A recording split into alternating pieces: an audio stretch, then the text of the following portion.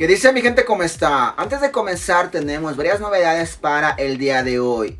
Era golazo de Gonzalo Plata para igualar la serie. Flamengo quedó eliminado tras empatar con Peñarol. Barcelona estrenará nueva camiseta para el encuentro del fin de semana. El nuevo convocado de la tricolor viene desde la Liga de Dinamarca. Esto lo confirmó el periodista Fabián Gallardo. Gonzalo Plata regresa a la tricolor. El ecuatoriano está en la mira de Sebastián Becasese, ya que desde Flamengo han confirmado que recibieron reportes por la federación. Número uno eh, está bloqueado. Número dos, el profe ha conversado con él. Número tres, ya está jugando. El problema antes era que estaba en transferencia y no estaba jugando.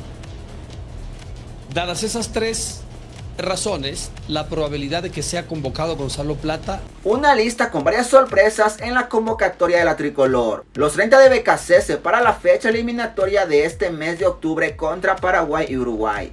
Pero sin antes, te invito a que me regales con super like que actives aquí la campanita, que pongas en todas y sin más mis cracks comenzamos con el video.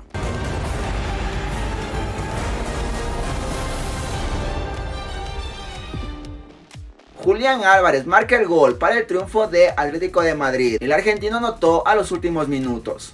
La séptima jornada de la liga, Atlético de Madrid consiguió un triunfo clave ante el Celta de Vigo, donde Julián Álvarez fue el que marcó el gol. Con este resultado, los del Cholo Simeone ascendieron a la tercera posición en la tabla, por debajo del FC Barcelona que lidera con 21 puntos y del Real Madrid con 17 tantos. A James Rodríguez le está pasando lo mismo con su beldía en Sao Paulo. Al colombiano no lo toman en cuenta en España. Si antes lo fue con Luis Subeldía, donde el mismo entrenador comentó públicamente que James Rodríguez no iba a ser tomado en cuenta por Sao Paulo. O James Rodríguez está tendo na Copa América. É, o placar sería diferente? Vamos a hablar de lo que está. Imagínense que estoy con el árbitro. Mamita querida. Siguiente pregunta. En España le está pasando la misma realidad, ya que el técnico de su equipo, Rayo Vallecano, no lo tomó en cuenta al colombiano para el último encuentro y que justificó la ausencia del cafetero.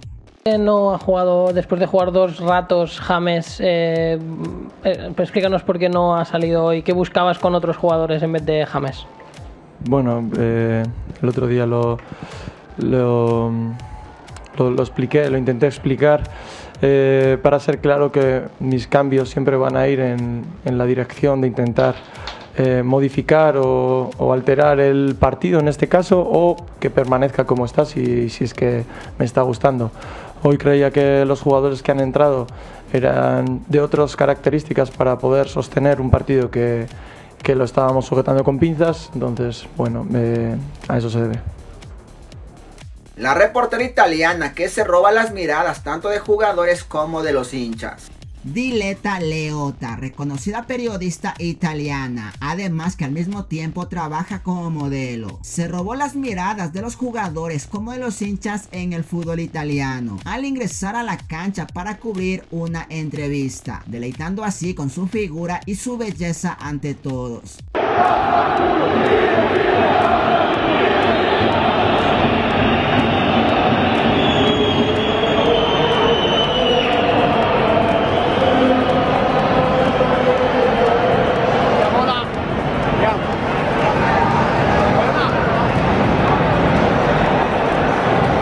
Se confirmó el nuevo horario del partido de Copa Ecuador entre Liga de Quito y el Nacional.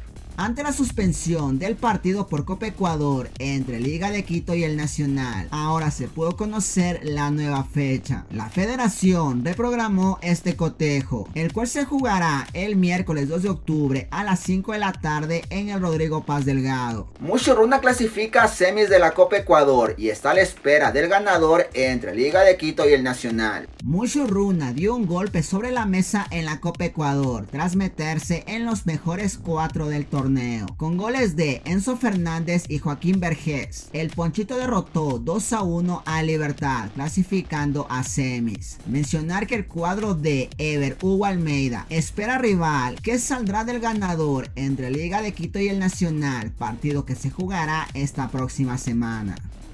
La camaradería en el Chelsea se lo pudo mirar a Moisés Caicedo con sus compañeros ingresando a las prácticas en un carrito de cortar césped. La camaradería en el Chelsea es de la mejor, ya que se pudo mirar a Moisés Caicedo con sus compañeros ingresando a las prácticas del equipo mediante un carrito de cortar césped. Posterior a esto se pusieron a entrenar junto al resto de la plantilla, con miras de lo que será el encuentro por la Premier League ante el Brighton de Pervis Estupiñán este día sábado 9 de la mañana. Era golazo de Gonzalo Plata para igualar a serie. Flamengo quedó eliminado tras empatar con Peñarol con un partido con más llegadas de Flamengo. Gonzalo Plata tuvo a los pocos minutos una chance para marcar y así igualar la serie, registrando así el golazo que pudo haber marcado el ecuatoriano, pero el arquero le terminó atajando. Mencionar que el marcador terminó 0 a 0 y con este resultado el cuadro de Gonzalo Plata quedó eliminado de la Copa Libertadores.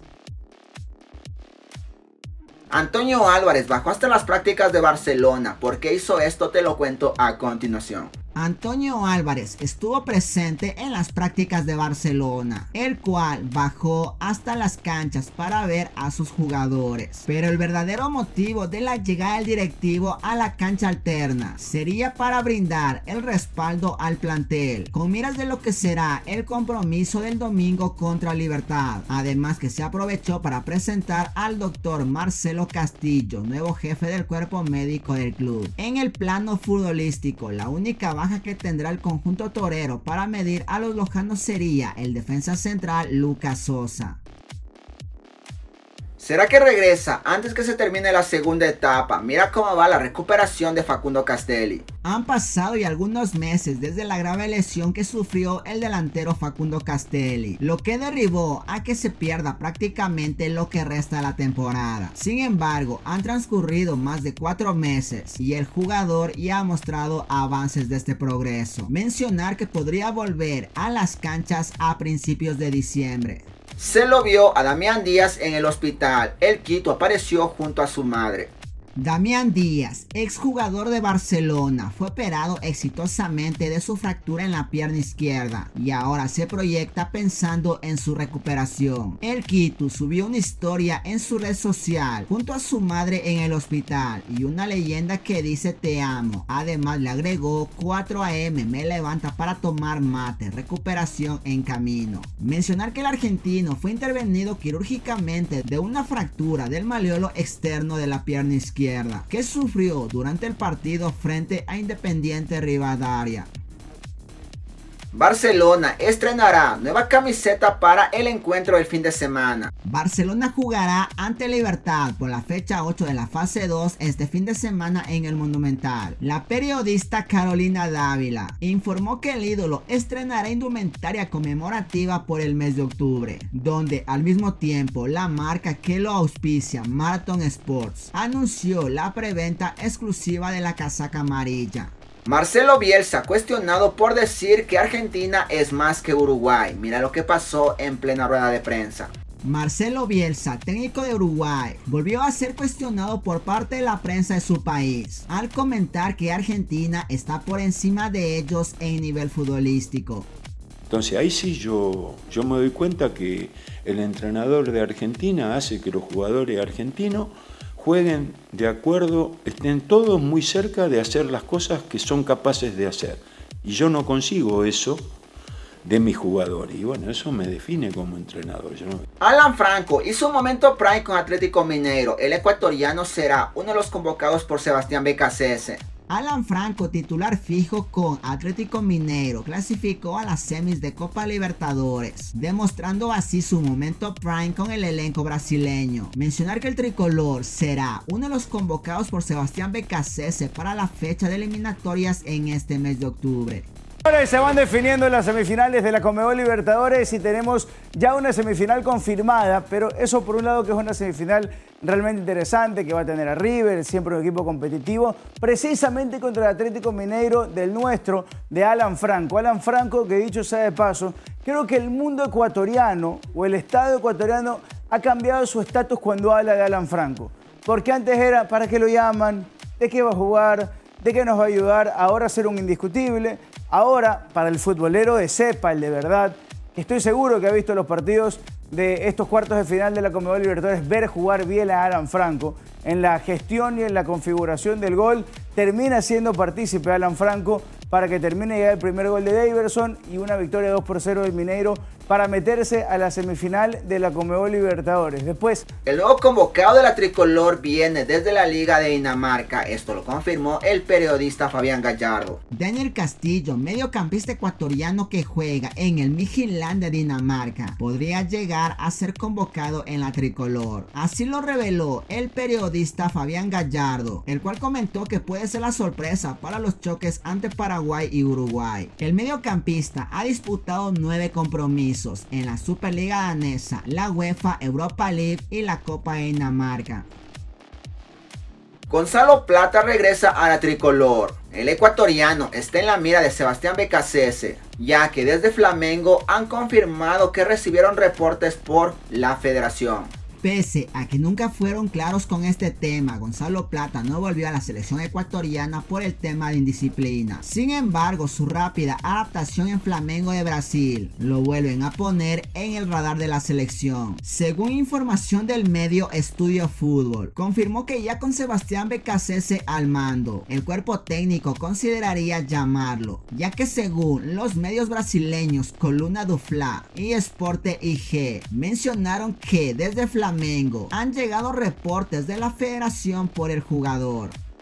Una lista con varias sorpresas en la convocatoria de la tricolor. Los 30 de BKC para la fecha eliminatoria de este mes de octubre contra Paraguay y Uruguay. Tras la noticia días atrás de que Leonardo Campana regresará a la tricolor.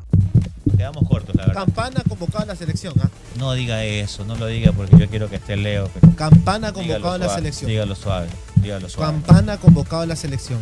Y del sorpresivo llamado por BKCS hacia el ecuatoriano que milita en la Liga de Dinamarca, Daniel Castillo. Se suma ahora el nombre de Gonzalo Plata. Según información del canal del fútbol, manifestaron que el ecuatoriano ya ha sido bloqueado y que ha tenido conversaciones con Sebastián BKCS. Número uno, eh, está bloqueado.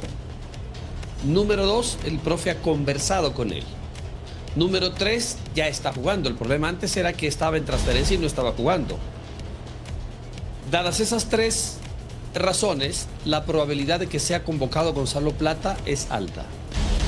Yo no me atrevo a asegurarlo, el único, yo creo que el único que sabe exactamente la lista hoy es el profe de Casese, pero su entorno maneja esta información de que es bastante probable que Gonzalo Plata juegue. Y si juega, yo pregunté, han hablado dónde jugaría como volante por derecha y dice, conversamos con él y de lo que conversábamos era que lo veía como volante, como delantero por derecha, lo veía como media punta, pero también lo veía como punta a punta. Yo dije, epa, pare ahí un ratito.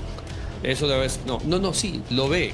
Lo conversamos, me decían ellos, él, se expresó un poco en eso, entonces aparentemente la idea de hacerse con Gonzalo Plata sería no solamente por derecha, sino como media punta y hasta como punta. Entonces allí, fíjense que ese es de los tres puntos que puse antes, como un cuarto, un adicional, que en ataque podría ser polifuncional Gonzalo Plata. Entonces, eh, por eso ese es, ese es un nombre. Y yo ahí, allí hice énfasis, pero es que él está dentro de los vetados. Ningún jugador está vetado en la selección hábleme en serio, decía, no me mientan, ya tengo, mire esta calvicie, decía yo, estas, estas barbas, estas canas.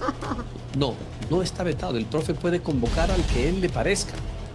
Ah, bueno, entonces por eso, si usted me pregunta a mí hoy, Germán, yo creería que el nombre Gonzalo Plata hay bastantes probabilidades de que aparezca en la siguiente convocatoria. Ante esto te presento la posible lista de los 30 convocados por Sebastián Becasese a la tricolor. Mencionar que en la pasada convocatoria, el argentino citó a 30 futbolistas para los encuentros disputados ante Brasil y Perú. Arqueros, Hernán Galíndez de Huracán de Argentina, Moisés Ramírez de Independiente y Gilmar Napa de Melec. Defensas centrales, William Pacho del PSG de Francia, Pierre Incapié del Bayer Leverkusen de Alemania, Félix Torres del Corinthians de Brasil, Jackson Poroso de Leganés de España, Javier Arriaga de New England Revolution de la MLS y Joel Ordóñez del Brujas de Bélgica. Lateral izquierdo, Perry Estupiñán del Brighton de Inglaterra y Joanner Chávez del Lens de Francia. Lateral derecho, Angelo Preciado de Sparta Praga de República Checa y José Hurtado de Bragantino de Brasil. Volantes de contención, Moisés Caicedo del Chelsea de Inglaterra, Carlos Grueso de San José de la MLS, Alan Franco de Atlético Mineiro de Brasil, Joao Ortiz de Independiente, José Cifuentes de Aris Salónica de Grecia y Daniel Castillo del Midtjylland de Dinamarca. Volantes creativos, Kendrick Paz de Independiente, John Chebois del Venecia de Italia y Pedro Vite del Vancouver Whitecaps de la MLS. Extremo izquierdo, Alan Minda del Círculo de Brujas de Bélgica y Jeremy Sarmiento del Burnley de la Segunda División de Inglaterra. Extremo derecho, Gonzalo Plata de Flamengo de Brasil, Ángel Mena del Pachuca de México. Y delanteros, Ener Valencia de Internacional de Brasil, Kevin Rodríguez de Unión San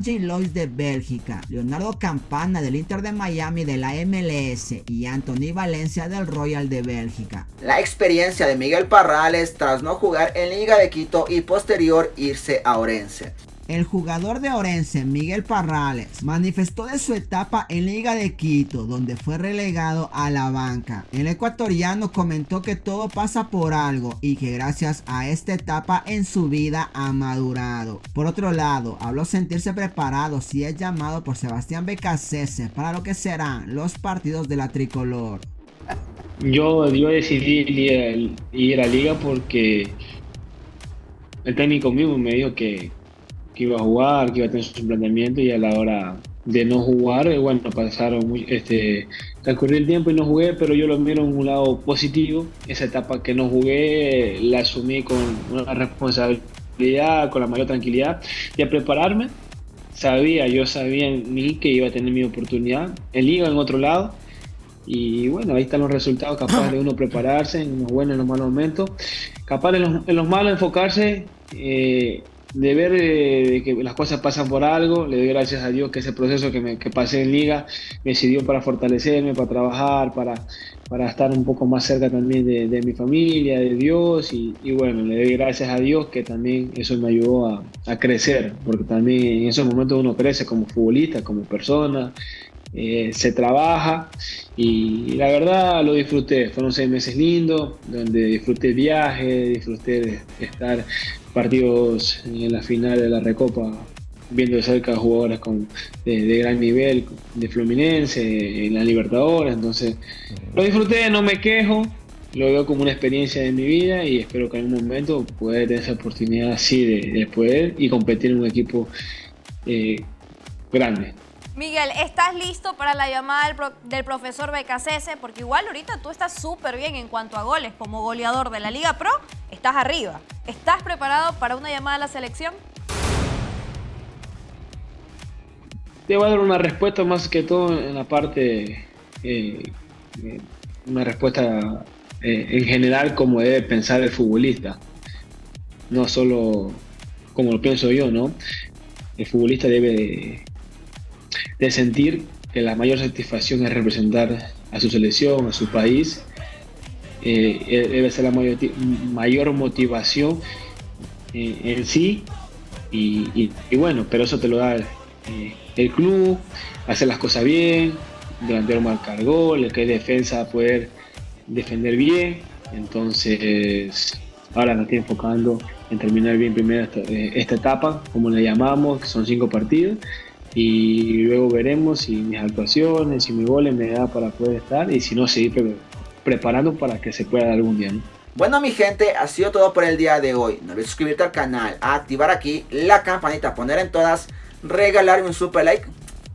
Y bueno mis cracks, hablamos en un próximo video, cuídense mucho topes y chao.